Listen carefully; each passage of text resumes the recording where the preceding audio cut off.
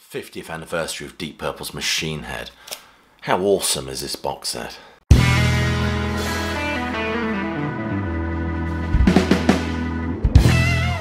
Welcome Classic Rock fans to a review and unboxing of this brand new set which is Deep Purple's Machine Head, the 50th anniversary deluxe set. This will be released on the 30th of March and there are purchasing links just below this video so do check this one out. First we'll unbox this and take a look at what this wonderful item has to offer but do stick around to the end because then we're going to talk about the wonderful new remix by Dweezil Zappa as well as these interesting live recordings that they've uh, included in here. Anyway, let's get the cellophane off, shall we? So it comes in a nice sturdy box which contains everything in there. There's the rear and there's the spine. The items just come out like this. So we get a almost perfect facsimile of the original album sleeve. There's the rear and the gatefold as well is very faithful to the original although this actually holds the four CD, uh, three CDs and Blu-ray as well as the vinyl the vinyl is in a nice black like that but wait for it the most important thing a poly lined sleeve which is just how we like it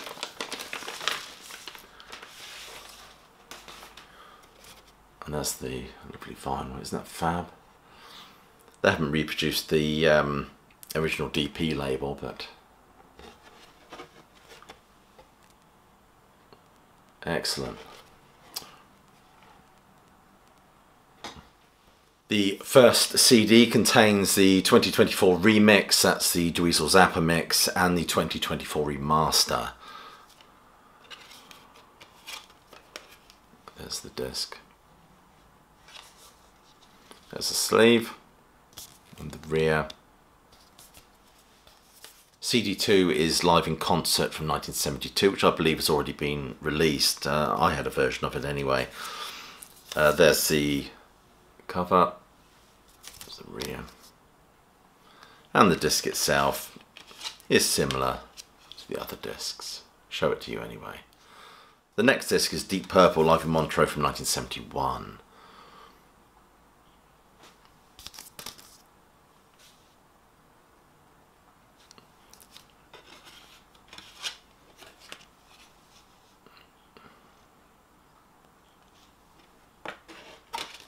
Final disc is the Blu-ray audio disc.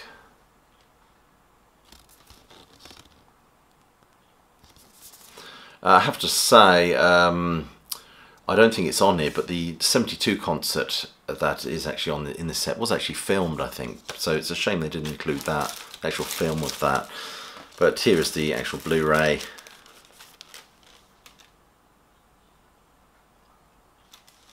And if you're a bit anal about these things like I am, I'll even keep the sticker that goes on the front of the actual set itself. We get this poster, which is the lyrics, which I believe was in the original, wasn't it? Just folds out like that.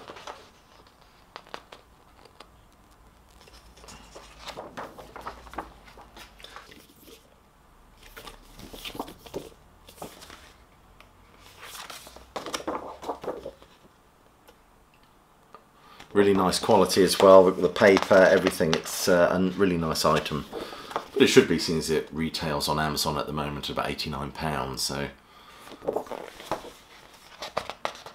But it is uh, you, can, you, can feel the, the quality in in terms of just the way the whole thing feels really. Even the vinyl and the, the nice touches like the polyline sleeves and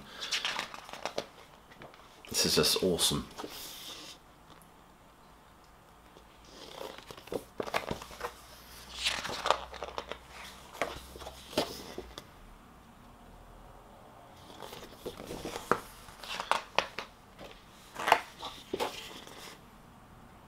Purple around about this time were just uh, just incredible band. It uh, breaks my heart really that uh, I think bad management issues, um, as well as the tempestuous relationship between Gillan and Blackmore, kind of tore this band apart really. This is the sort of stuff I love in these booklets when they include lots of different versions of the singles and foreign versions.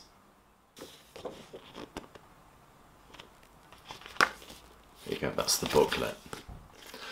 If you're interested, just reading the blurb from the back, of course it contains a deluxe gatefold LP, three CDs and a Blu-ray, uh, purple smoke vinyl LP, new remix from analog multi-track tapes by Dweezil Zappa, a new remaster from original analog master, previously unreleased live recording from Montreux 71, 72 live in concert, uh, Blu-ray audio featuring the Atmos mix, um, 1974 US quad mixes and 5.1 mixes. So you've got all that gubbing set up, you're set here. Booklet with essay from Rolling Stone's, uh, Kory Grow, based on new band interviews, photos from the recording session, and lyric poster.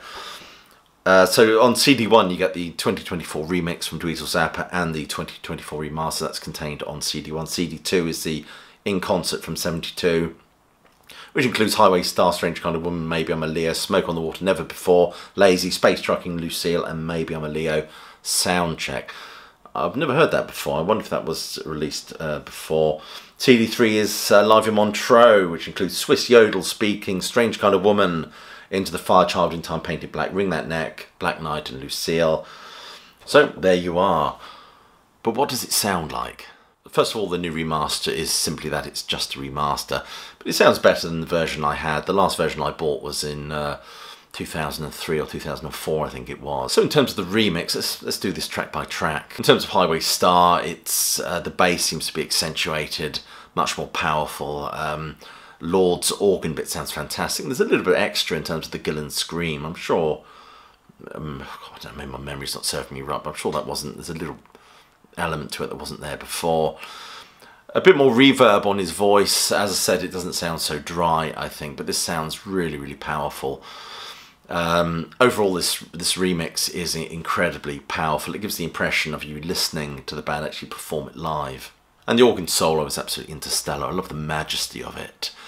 Plus, there's some Blackmore licks during the organ solo that I never noticed before in the original mix. Maybe I'm a Leo, the guitar seemed to sing out a little bit, I think. Love the keyboard part, it seems to um, almost feel as if it's been lifted slightly in the mix.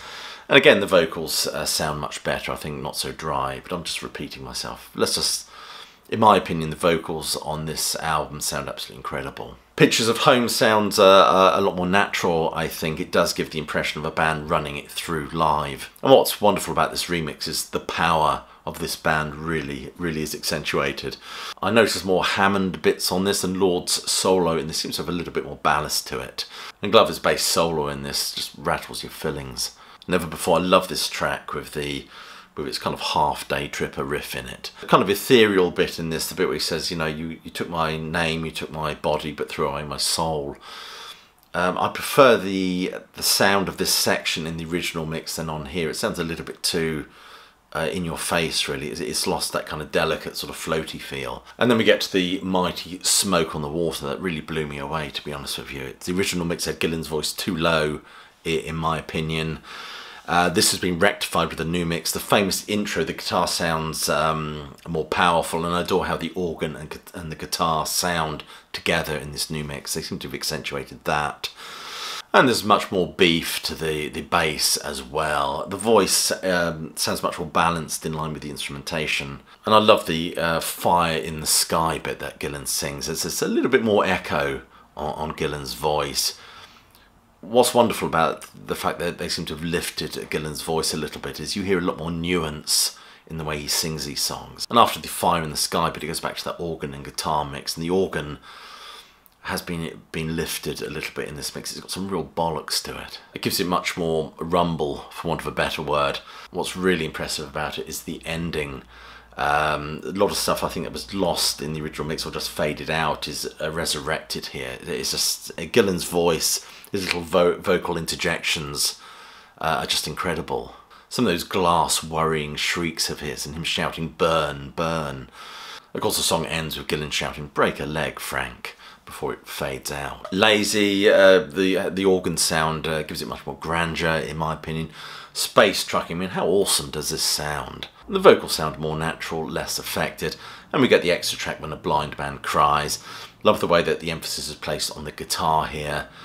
And uh, Gillan's vocals have been, again, they've been lifted in the mix a little bit. It sounds absolutely wonderful. So anyway, let's talk about the live stuff, shall we? The Firsted Live 72 sounds excellent, but then we know it sounds excellent. We've heard it before, but it's nice to have it included in here. And the Live 71 in Montreux, I love the Swiss yodel at the start of this. Excellent stuff from them. And wonderful intro to Speed King as well. Really powerful, distorted slab of noise that this recording is. And I mean it, it really is a slab of noise. It's one for the hardcore fans only, really. It's Because uh, there are bits missing as well. The recordings jump, like in Child in Time. It jumps from one bit straight to a, a, another bit where it's, it's obviously the tape's missing or damaged or whatever it is. But overall, it's a wonderful listen. If you're a hardcore Purple fan, I'm certainly glad it's on here. And Child in Time is one of the finest versions I've heard, actually, with that ballooning vocal of Gillan to accompany his descending trousers. So there you are, they're my thoughts on the new Deep Purple anniversary, 50th anniversary edition. I can honestly say that this remix will replace, will become standard listening for me in terms of the version I actually listened to. I really loved it. Um, I say this all the time, but I think this is probably one of the best sets I've heard this year. Please be sure to click like and subscribe and check that notification bell if you're a fan of reviews and unboxings of stuff prior to its official release. And uh, check out some of the links below this video for ways you can support the sterling work done at Classic Album Review. Become a Patreon, why not? There's a fine body of work on there now. So I'll leave you with my closing salvo, which is hope you're well, staying safe, and of course that you keep listening.